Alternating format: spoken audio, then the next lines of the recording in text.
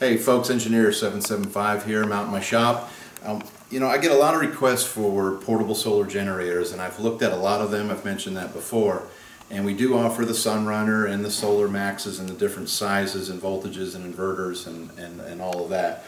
But a lot of cases, there's just not enough solar, not enough power as an input. So, got together with uh, Johnny Valentine again, the gentleman you've seen in the videos, I've been working with him um, on whole house systems, but we see there's a there's this there's this gap between small portable systems that you see like Goal Zero and the solar generator and the Solar Max and Sunrunner and all those and then to a, a, whole house system. And there's a big range in the middle where people really don't have the budget for the bigger systems don't want to waste their time on the real small systems and they want something in between that could run their well pump keep their freezers going refrigerators and that requires a lot more solar energy than people realize and a lot bigger battery bank. And so if it's truly portable, it's just not enough power. And a lot of it has to do with the battery, not, not just not having enough capacity.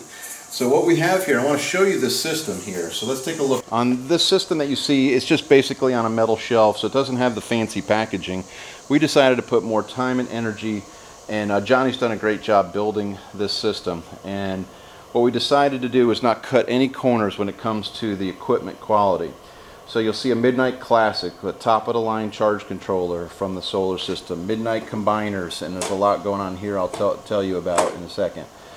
Uh, Samlex, we have found these Samlex inverters, 2,000 and 3,000 watt inverters to be pretty, pretty tough inverters. But we're also doing a Midnite, I mean, I'm sorry, a Magnum 4024 version of this, which will have a, and again, a pure sine 4000 watt inverter that has a built-in uh, charging capability.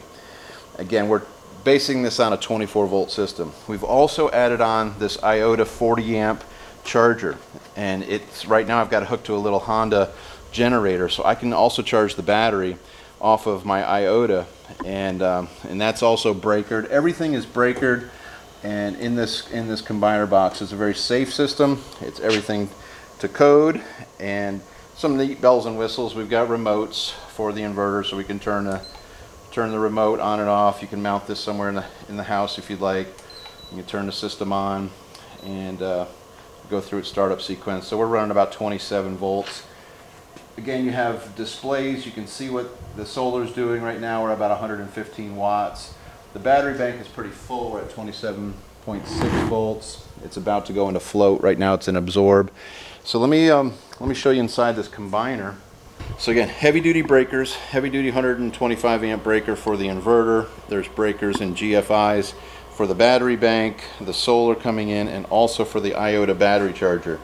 We also have set this thing up with a Midnite combiner that has the capability of adding four strings we can put 2500 watts of solar. That's what we see as a limitation many times. These systems just don't have enough solar. They all claim to have 1800 watts and all this, but they really, the sustainable power that you have is the amount of solar, the amount of energy that you can produce, and in this case from solar panels. So we're dealing with up to 2500 watts. That's a nice system, and that the uh, that's what the Midnite is rated for on 24 volts about 2500 watts of solar coming in. We also have what is called the Whizbang Junior. It's a, a, shunt system so you can actually monitor what's going on in terms of power in, power out.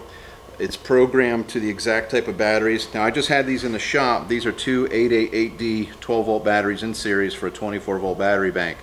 But we do lead acid, we do all different types. This Some people want to set this up in their house and garage and they don't want to deal with the lead acid that scares them, we do the sealed AGM, but we prefer the lead acid for, for, for performance reasons.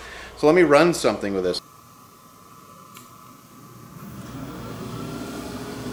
Okay, so we've just turned on a load. We turned on a water heater and you saw the watts from the solar go way, way up. So what it's allowing it to do is allowing solar energy to come in. So we bumped up from, I don't know what it was, 50 watts to 475 watts coming in.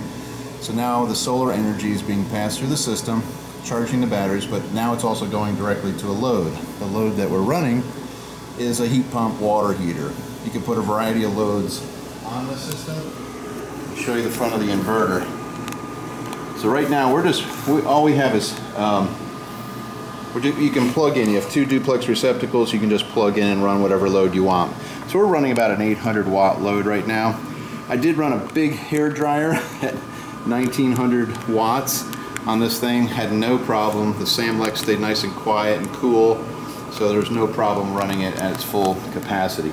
The other thing you can do is take this plate off and you can do a full power off of this to get the full 2000 watts of pure sine 24 uh, yeah pure sine 120 volt AC being inverted off the 24 volt battery bank. So a lot of options. Again on the this is the small unit we're building. Still has the capability lots of capability lots of solar. And um, the next one up will be the Magnum uh, 4024 and that'll give you a lot more. So okay I'm going to show you uh, while we're running, I'm going to show you the IOTA's capabilities. So I'm going to turn the breaker on for the IOTA, that's the breaker there.